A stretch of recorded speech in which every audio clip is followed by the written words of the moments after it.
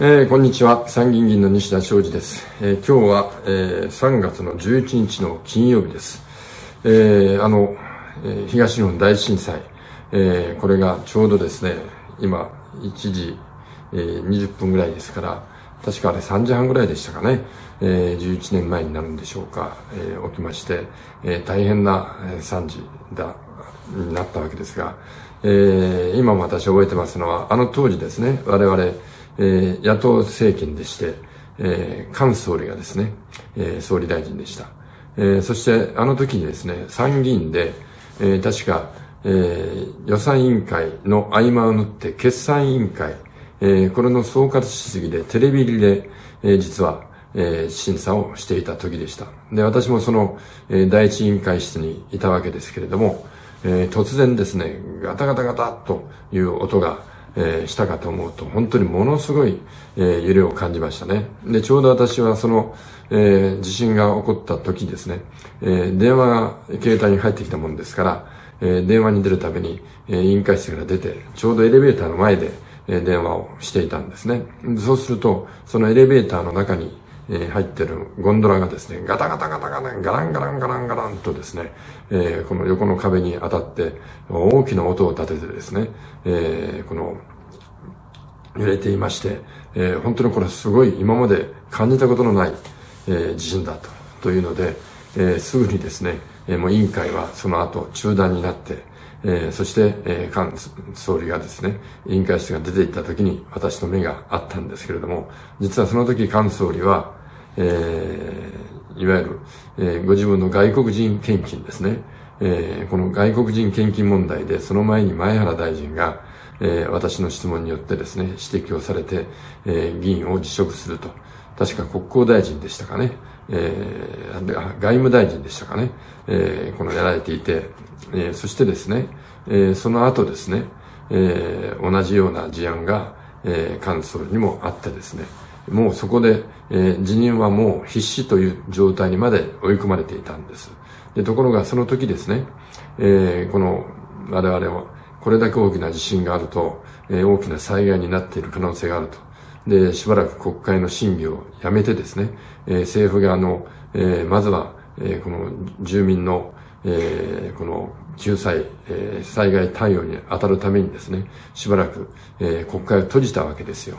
で、そして、えー、そのことによって、えー、菅さんも、えー、自らの外国献金問題ですね、もう追及されずに、まあ、結局終わってしまったということで、えー、そういう状況が、えー、その時に、えー、菅さんが思い浮かべていたかどうかですけど、私と目が合った時にですね、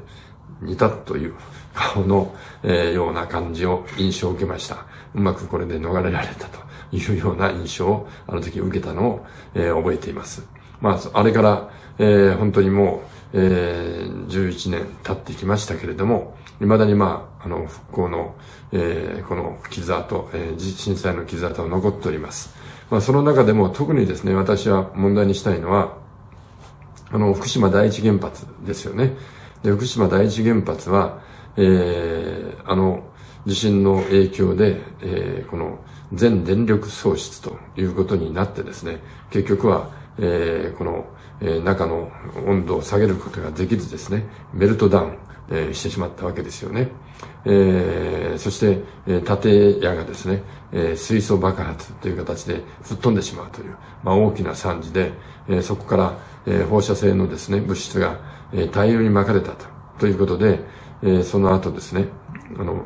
福島、えー、この第一原発の周りは事実上、えー、ずっと入れない状態が続いている。で、福島の住民の方々も、えー、この地元に、ふるさとに帰れずですね、未だに、えー、違う場所で生活されたり、えー、その先の回復の、えー、企業の目処がまだ立っていないんですが、で、この問題の一番大きな問題はですね、あの、福島第一原発、え、事故が起こった、それはその通りなんですけれども、じゃあそのことによってですね、健康被害があったのかと、というと、放射性、放射性物質のですね、えー、この流出による健康被害というのは、えー、事実上なかったんですね。で、甲状腺がん、えー、これの、えー、検査などもですね、かつてのチェルノブイリではですね、えー、随分あったわけですけれども、えー、甲状腺がんの、えー、この発生の割合を見てもですね、えー、福島と他の地域とではですね、えー、得意な差が見られないということが、えー、これ科学的にも明らかになっております。そして何よりもですね、えーえー、低線量率放射線というのはですね、えー、この、たとえ被爆をしても、え、この大きな健康被害になることはないと。え、というのがですね、え、科学的には言われているわけでありますけれども、一部の学者の中からですね、え、いわゆる、え、20ミリシーベルト、え、というですね、え、この占領率ならですね、え、多めに見つまって、というのは100ミリシーベルト以下ではですね、健康被害の、え、この、証拠がないと。ということを言われてきまして、そこの100ミリシーベルトからさらに余裕をとってですね、20ミリシーベルトというのを一つのですね、放射線量率の基準にして、それ以下の、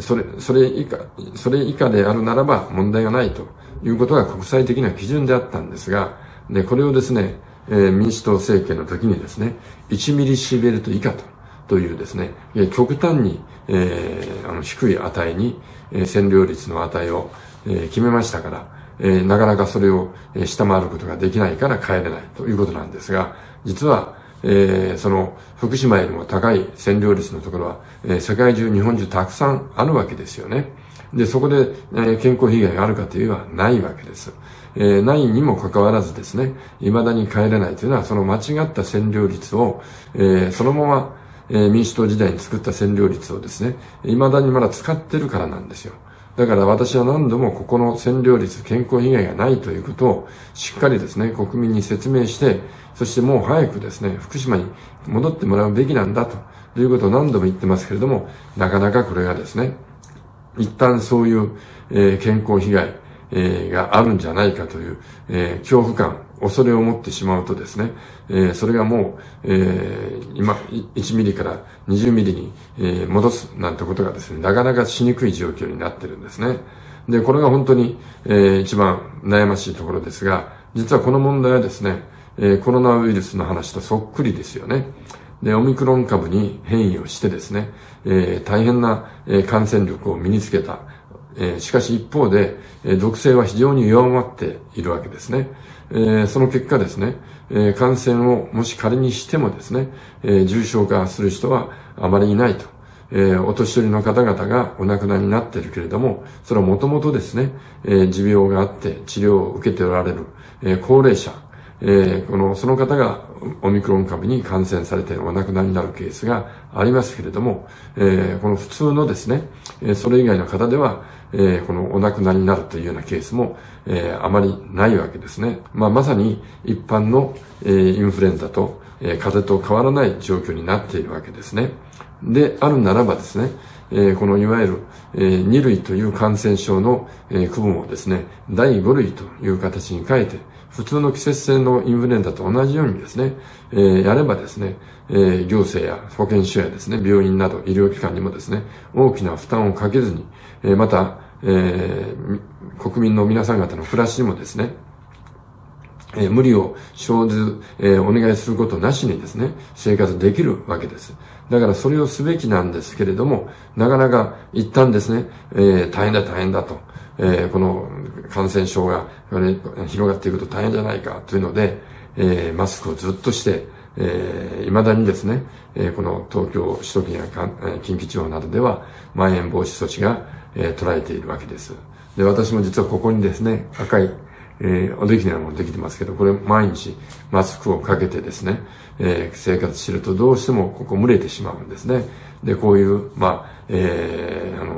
まさに、えー、本来こういうことにならないものがですね、えー、マスクのおかげでなったりですね、えー、マスクをすることによってですね、えー、健康を損なうことも実はあるわけなんですね。ですから、ここはですね、冷静に、えー、現実を見て判断すべきだと。で、あの、3.11の今日の日で、あの、福島の原発のことを考えるとですね、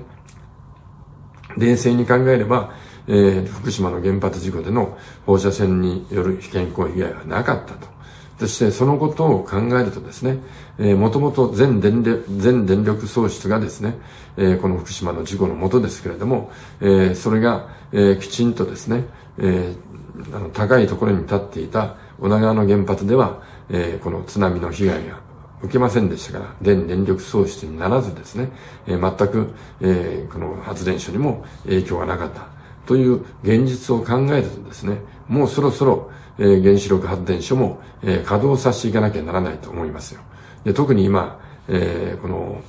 ロシアのウクライナ、えー、この侵略によってですね、えー、この、えー、このエネルギー価格が、えー、べらぼうに上がってきてますね。で、このまま放置するとですね、